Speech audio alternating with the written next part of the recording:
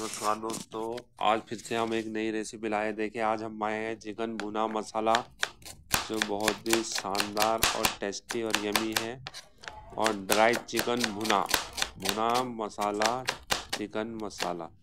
देखिए, ये रेसिपी बहुत ही शानदार है। आप घर में ट्राई कर सकते हैं। देखिए, हम प्याज काटते सबसे पहले हम प्याज काट लेंगे लंबे लंबे, देखिए। दोस्तों, इसके लिए चाहिए हमें एक किलो चिकन और 500 ग्राम प्याज चाहिए 300 ग्राम चाहिए टमाटर और ग्रीन चिल्ली चाहिए, आठ से दस। और कॉरिंडर चाहिए, धनिया साबुत चाहिए, जीरा साबुत चाहिए। और ये हमारे को खड़े मसाले, जावित्री, लौंग, काली मिर्च, इलायची, बड़ी इलायची। और दोस्तों हमारे को चाहिए धनिया पाउडर, जीरा पाउडर, देगी मिर्च, टर्मरिक और देखिए, ये हमारा जो चिकन के लिए पहले तो हम मसाला बना लेते हैं देखिए हमने देगी मिर्च डाली और हल्दी डाली और हमने ग्रीन चिल्ली डाली, नमक डाला और दही डाला। इसका बढ़िया सा बैटर बना के और इसमें हम चिकन को पंद्रह से बीस मिनट ये देखे रख देंगे अच्छे से मिला के, जो हमारा भुना मसाला बहुत ही शानदार बनेगा और जो हमने खड़े मसाले को भून के उसको पीस रखा है। देखिए, उसका टेस्ट पूरे चिकन के अंदर जाएगा। आप देख सकते हो ये जो हमने मसाला बनाया, वो चिकन के अच्छी तरह से हमने मिला। ये देखिए, हमने हल्का सा सरसों का ऑयल भी डाल दिया, ये देख सकते हैं आप। और दोस्तों, बहुत ही शानदार और यमी और टेस्टी रेसिपी आप घर में ट्राई कर सकते हैं। बहुत ही शानदार रेसिपी है।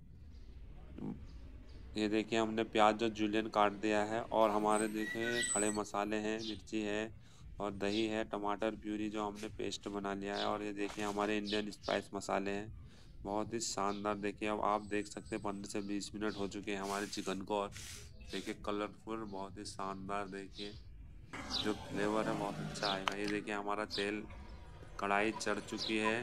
सीधे शिवा भोजनालय, छतार, पुनेटा पेट्रोल पंप, देखिए, हमने कढ़ाई चढ़ा दी है। और दोस्तों, हमारी रेसिपी को ज़्यादा से ज़्यादा फॉलो करें लाइक करें सब्सक्राइब करें, ताकि हमारे अगली रेसिपी आप तक पहुँच सके। देखें हमारा तेल जो चढ़ चुका है और इसको गर्म होने के बाद हम इसमें खड़ा मसाला डालेंगे, तेज पत्ता, और जो हमने ग्रैंड किए हैं मसाले वो डालेंगे। ये देखिए।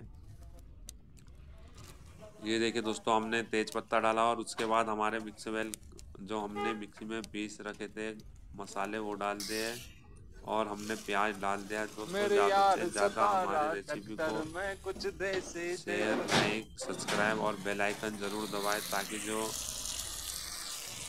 अगली रेसिपी है आप तक पहुँच सके। और देखिए दोस्तों जो हमारा चिकन है आपको दिखा सकते हैं बहुत ही अच्छा कलर और अच्छा लुक आ गया है और जो इसका फ्लेवर है बहुत ही शानदार आएगा। ये देखिए हमारा जो प्याज है, वो लगभग हो चुका है। इसमें अब हम ग्रीन चिल्ली डालेंगे और जो हमने मसाले बनाए हैं, ये देखिए, ग्रीन चिल्ली को अच्छी तरह से मिक्स वेल कर लेते हैं। उसके बाद जो हमारे मसाले हैं, जिंजर गार्लिक पेस्ट है, उसको डालेंगे, ये देखिए, और इसको अच्छे से हिलाएँगे।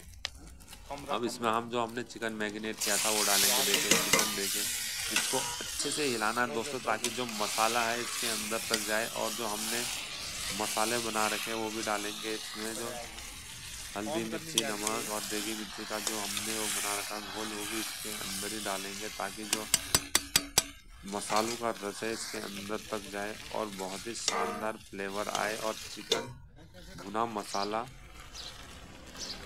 बहुत ही यमी और टेस्टी ये देखिए हमने जो मसाले बनाए थे चिकन मसाला और जो हमारे बाकी के मसाले थे नमक थे सब डाल दिया गया है और देख सकते हैं आप हमारा चिकन क्या कलर है।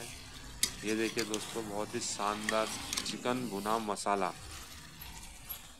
ये देखिए, बहुत ही अच्छा लुक आ चुका है।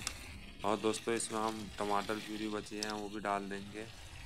और इसको हिलाते रहेंगे और ढक्कन लगा के पकने देंगे ताकि जो हमारा मसालों का रस है, वो इसके अंदर तक जाए। और बहुत ही शानदार चिकन मसाला भुना मसाला हमारा रेडी। और इसको आप रोटी, चपाती, नान किसी भी ले सकते हैं। आप बिरयानी, पुलाव, जीरा राइस, आप इंडियन रेस्टोरेंट में कहीं भी जाए, आपको ये रेसिपी देखने को मिलेगी। और दोस्तों, ये देखिए, हमारा रेडी हो चुका है चिकन भुना भुना ये देखिए, आप देख सकते बहुत ही शानदार लुक आ गया है। और दोस्तों, हमारे रेसिपी ज़्यादा से ज़्यादा फॉलो करें। धन्यवाद, नमस्कार।